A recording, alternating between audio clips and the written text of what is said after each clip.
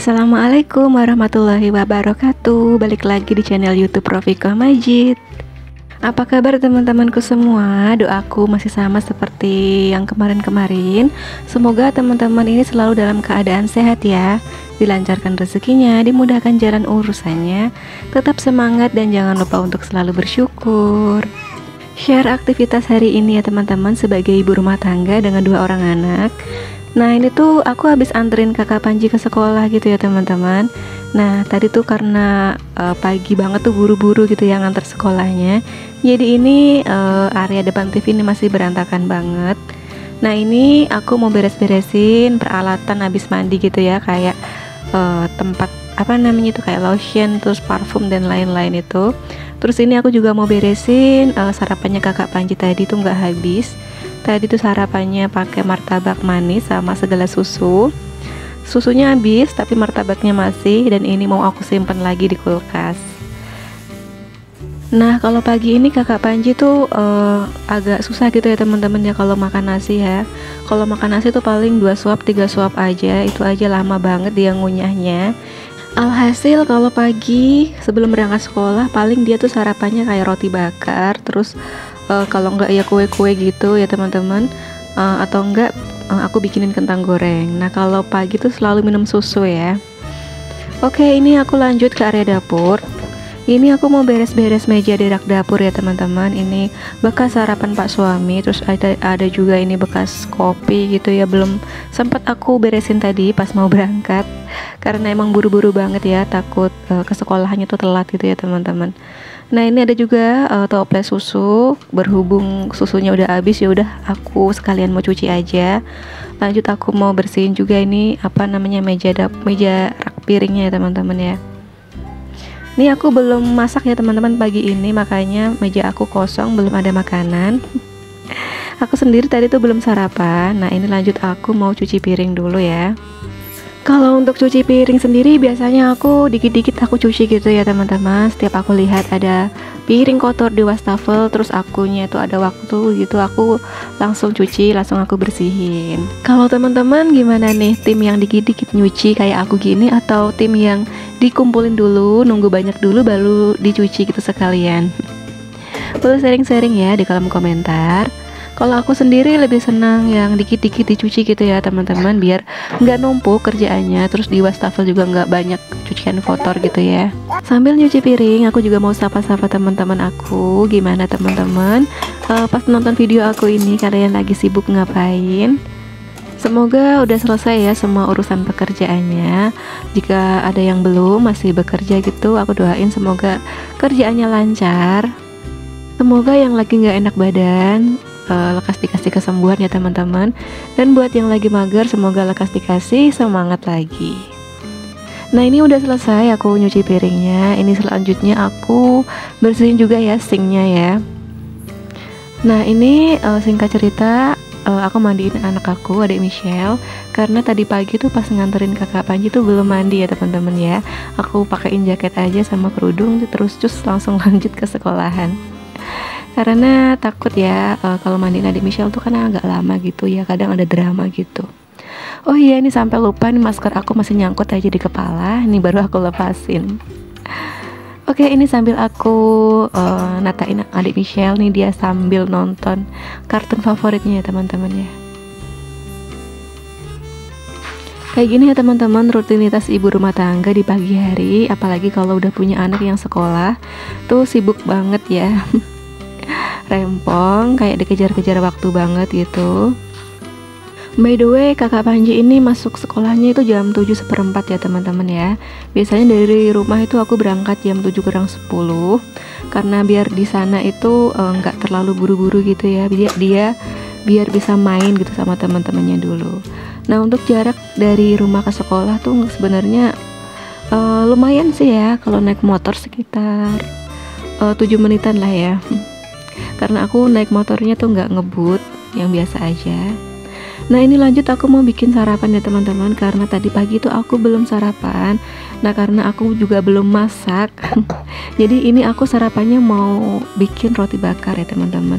Ini tadi tuh aku mampir ke warung nih beli roti AOK Yang rasa susu vanila ternyata rasanya tuh enak banget. Uh, selainya tuh lumer gitu ya teman-teman ya pas dibakar kayak gitu dalamnya Nah kalau teman-teman biasanya kalau pagi sarapan apa nih? Sarapan roti atau sarapan nasi?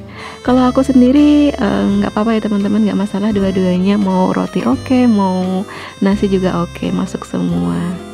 Nah ini aku menggangnya juga nggak terlalu lama, kayak gini aja udah aku angkat. Biasanya aku kayak gini sambil bikin kopi ya teman-teman, tapi karena hari ini tuh eh, nggak uh, pengen gitu ya udah aku makan aja kayak gini roti bakarnya nggak ditemenin sama kopi. Nah ini ada adik Michelle nih udah mulai cranky nih kayaknya tuh ngantuk. Nah bener aja. Tadi tuh abis aku ini ya dia minta nen gitu. Nah akhirnya dia tuh bobo ya teman-teman. Nah pas kesempatan dia tidur kayak gini nih aku mau potongin kukunya. Ini jangan khawatir ya teman-teman ya kalau bekas kukunya ini nanti jatuh-jatuh gitu ke karpet. Nanti bakalan aku bersihin ya aku serap-serap kayak gitu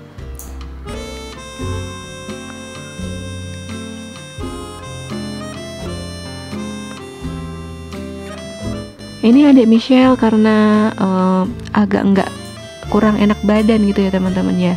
Lagi demam terus uh, flu gitu. Jadi dianya tuh kurang aktif gitu hari hari ini teman-teman ya. Pengennya tuh tiduran kayak gini tuh. Ini aja uh, bangunnya emang pagi sih ya. Sekitar jam setengah enam gitu. Makanya ini di sekitar jam setengah sembilan tuh sembilanan tuh udah mulai tidur lagi Nah selesai motongin kuku di kakinya ini aku lanjut potongin di tangannya ya teman-teman ya. Aku potongin semua ini kebetulan dia kan lagi tidur gitu ya jadi gampang nggak pakai drama. Kalau teman-teman sendiri gimana nih? Uh, pas udah punya anak yang sekolah pagi-pagi kayak gini pasti juga sibuk ya mungkin kayak aku juga ini sibuk nyiapin ini itu semua. Kadang sarapan buat diri sendiri tuh uh, telat gitu ya teman-teman ya nah ini uh, masih jam 9 gitu. Kayaknya masih ada waktu buat aku masak-masak lah ya. Aku bakal masak sayur bening sama nanti mau goreng tempe tepung gitu. Uh, untuk kakak Panji sendiri pulang sekolahnya itu jam 10 eh, jam setengah 10 ya teman-teman ya. Uh, paling lama itu jam 10 kurang seperempat gitu. Jadi nanti aku jemput si kakak Panji ini sekitar jam setengah 9 dan kurang 10 menit gitu teman-teman nah karena masih banyak waktu ini aku manfaatin dulu. Buat bikin aku mau masak sayur bening sayur bayam. Dan alhamdulillah karena sekolahnya tuh udah nggak nungguin lagi ya teman-teman ya. Jadi aku cuma nganter doang sama jemput aja. Sisanya itu uh, masih ada waktu gitu ya. Jadi aku masih bisa ngerjain pekerjaan rumah gitu kayak masak uh, nyuci dan lain-lain kayak gitu ya Nah ini balik lagi di video untuk sayur bening bayamnya ini. Aku cuma pakai dua bumbu-bumbu aja ya teman-teman ya. Aku pakai bawang merah sama ini ada temu kunci. Untuk bawang merahnya sendiri aku cukup iris-iris kayak gitu ya teman-teman ya. Dan untuk temu kuncinya juga aku cuma belah dua kayak gini terus aku geprek-geprek biar nanti tuh aromanya tuh keluar gitu ya teman-teman ya nah ini untuk sayur bayamnya tuh udah aku petik-petikin dari kemarin ya teman-teman ya. Dan nanti uh, ini tinggal nyuci-nyuci aja kayak gitu. Dan untuk si apa namanya bawang merah irisan bawang merah sama temu kunci tadi tuh udah aku masukin ke dalam rebusan air ya teman-teman. Untuk masukinnya tuh nggak usah nunggu air mendidih dulu. Langsung dimasukin aja pas kita nyalain kompor itu. Oke sambil nunggu airnya mendidih ini aku juga mau bikin tempe goreng tepung gitu ya teman-teman ya. Ini tuh kesukaan bang kesukaan kakak Panji banget. Nanti uh, rencananya ini mau aku potong-potong dulu ya. Mau aku bikin adonannya juga dulu. Dan untuk uh, ngegorengnya ini aku nanti aja ya. Nungguin si kakak Panji pulang sekolah karena kalau gorengan itu kan enaknya dimakan pas hangat-hangat kayak gitu ya teman-teman ya. Nah ini aku potong-potong dulu tempenya aku potongnya tipis-tipis aja ya teman-teman ya dan di si apa namanya tempenya tuh tinggal ini aja tinggal segini tapi nggak apa-apa ini jadinya juga banyak By the way, anak aku tuh suka banget ya sama tempe tepung kayak gitu. Jadi hampir tiap hari tuh bikin gitu teman-teman. Jadi untuk tempe tuh harus selalu stok gitu ya di kulkas ya. Karena kadang tuh uh, ya kayak gitu minta cemilannya tuh tempe gorengan. Dia tuh nyebutnya tempe goreng selimut gitu teman-teman ya. dan untuk campurannya ini aku pakai juga daun bawang nih aku juga iris-iris dulu pokoknya ini aku persiapin jadi pas nanti kakak Panji pulang sekolah tuh tinggal goreng aja gitu teman-teman ya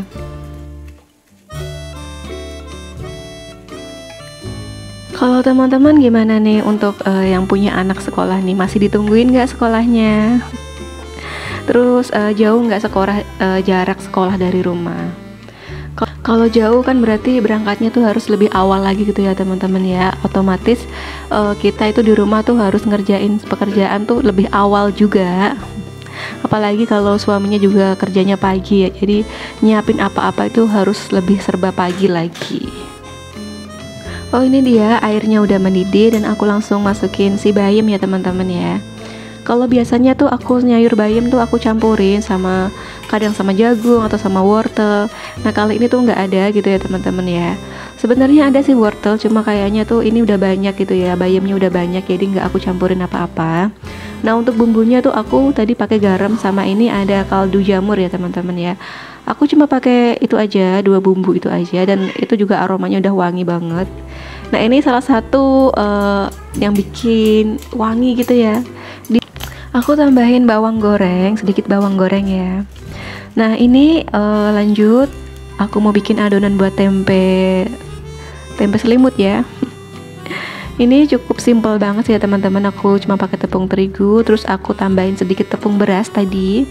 Lalu ini aku tambahin juga untuk bumbunya ada kunyit ketumbar terus juga aku pakai garam penyedap rasa dan juga lada ya teman-teman. Udah kayak gitu aja. Nah aku juga tes rasa. Kalau rasanya tuh udah gurih-gurih kayak gitu ya udah berarti udah pas ya. Nah kayak gini aja. Nah kalau udah bikin adonan kayak gini tuh ntar uh, tinggal goreng-goreng kayak gitu ya teman-teman ya. Gampang kayak gitu. Nah ini mau aku masukin dulu ya ke dalam kulkas dan aku lanjut mau siap-siap nih mau jemput kakak Panji karena udah setengah sepuluh. Dan aku tuh nggak mau yang namanya buru-buru di jalannya jadi aku berangkatnya emang nggak mepet-mepet kayak gitu ya. Nah semenjak anak aku tuh sekolah SD Kalau pas masuk pagi kayak gini gini tuh emang rada sibuk ya teman-teman ya. Dan ini adik Michelle juga belum bangun aku udah mau siap-siap nih ya udah buka pintu nanti bakal aku bangunin. Karena nggak mungkin juga ya aku tinggal ya. Nggak mungkin aku tinggal dia tidur sendiri di rumah itu. Jadi kayak gimana pun tetap aku bawa ya teman-teman ya. Ini aku pakein sendal dulu nanti biar tuh nggak apa namanya udah tinggal berangkat aja kayak gitu ya teman-teman. Nah ini aku mulai bangunin moga aja dia tuh nggak nangis aku pakaiin jaket dulu dan aku pakaiin kerudung karena di luar tuh panas ya. Dan ini akhirnya dia mau bangun ya teman-teman dan nggak nangis. Cuma aku kadang kasihan gitu ya. Dia lagi nyenyak-nyenyak tidur terus aku bangunin. Nah ini aku kasih dia minum dulu ya biar dia segeran. Nah kayak gitu ya teman-teman ya. Kesibukan ibu rumah tangga di pagi hari dengan dua orang anak. Yang anaknya udah sekolah. Jadi ini apa-apa sendiri karena emang kita kan di, di perantauan kayak gitu ya. Jadi uh, sebisa mungkin tuh harus mandiri uh, ke mana-mana bawa anak karena anak juga nggak bisa ditinggal. Ini uh, aku mau siap-siap ya teman-teman ya. Mau jemput kakak Panji ke sekolah.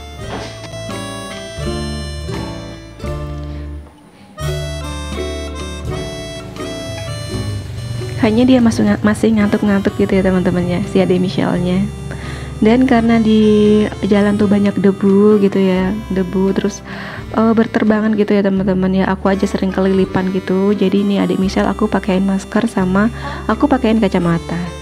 Kalau teman-teman tim yang antar jemput anak sendiri apa pakai jasa antar jemput nih? Kadang kan ada ya uh, pakai jasa antar jemput kayak ojek gitu langganan uh, antar jemput gitu ya teman-teman ya.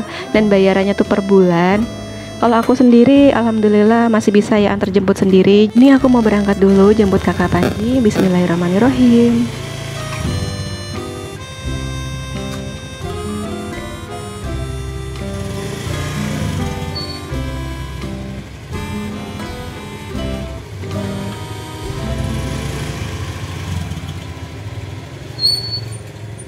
Dan ini aku udah nyampe di depan sekolahnya kakak Panji. Ini udah ada eh, ibu-ibu uh, ya udah pada nungguin anaknya. udah rame. Sebisa mungkin aku usahain jangan sampai anak-anak aku tuh nungguin aku ya teman-teman ya, nungguin yang jemput. Uh, kalau bisa aku aja yang nungguin. nah ini udah mau keluar ya teman-teman ya, udah ada belnya. Nih kakak Panji udah keluar. By the way ini aku videonya ambil pas hari Jumat ya teman-teman ya. Oke untuk video kali ini sekian dulu ya teman-teman. Semoga bermanfaat dan semoga menghibur. Sampai jumpa di video aku selanjutnya. Wassalamualaikum warahmatullahi wabarakatuh